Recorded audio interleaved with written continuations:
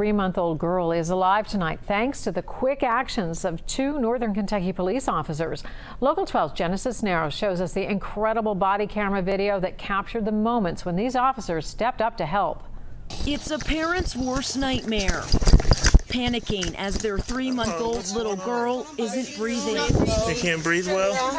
Officer Brian Evans was just on his eighth day with the Elsmere Police Department when he and his partner, Officer Alexis Day, responded to a call of three month old Kaylee unresponsive. And luckily, we were right around the corner we were there in seconds. Thanks for our belly. And within seconds, you could see the life-saving efforts from Officer Evans' body cam video. Calmly hitting her back, baby Kaylee finally cries. Oh, oh, oh, there we go, there we go. She's crying. She's crying. Mom's face says it all.